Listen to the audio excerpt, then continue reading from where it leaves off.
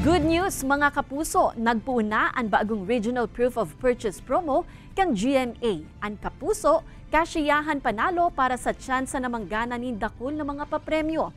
Nagpuun po ini kan July 6, 2024 asin madurar hasta sa August 16, 2024.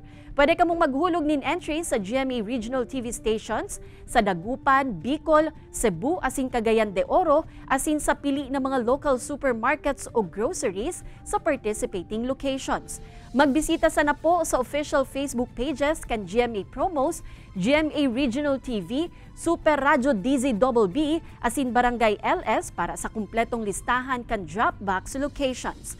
Pagirumduman mga kapuso na mag-ingat sa fake fake news, fake Facebook accounts, or scam text.